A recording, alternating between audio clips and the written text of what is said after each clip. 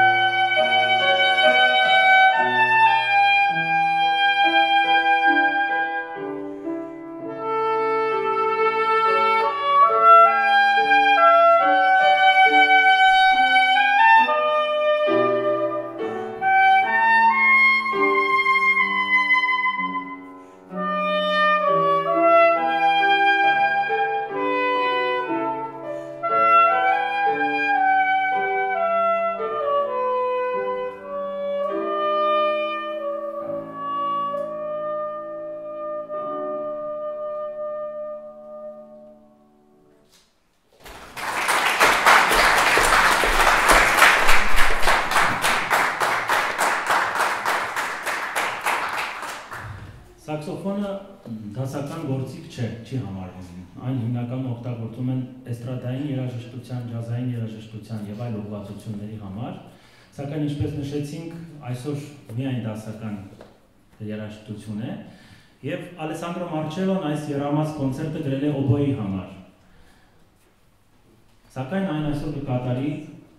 կկատարվի սաքսոֆոնով եւ դա նույնպես Բախի մշակմամբ է եւ այսպես երամաս կոնցերտ Ալեսանդրո Մարչելո կոնցերտ ռե մինոր կատարում է Նարինե Ղուկասյանը եւ նվագակցում է Բելա Ավետիսյանը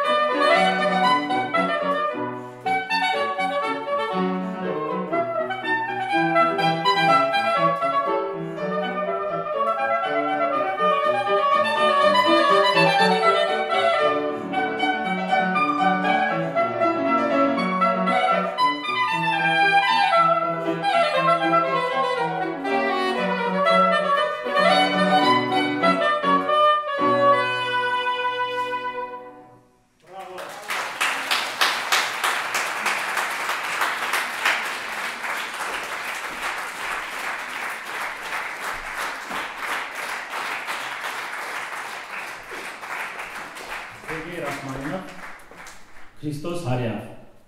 Այս ստեղծագործությունը գրված է ձայնի համար, սա ռոմանս է եւ ով չգիտի, ես վստահ եմ, որ շատերը գիտեն, որովհետեւ սա շատ ճանաչված եւ տարածված ռոմանս է,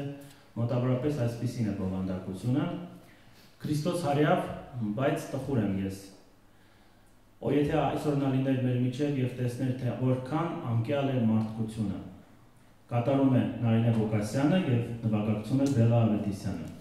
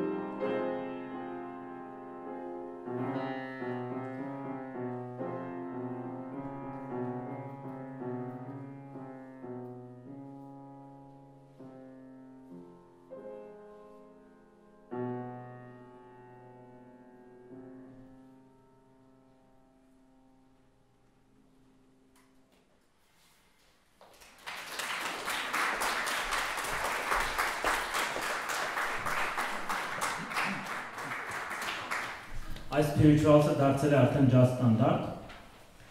Եվս շատ ճանաչված գործ։ Amazing Grace կատարում է Նարինե Ղուկասյանը, նվագակցում է Բելա Ավետիսյանը։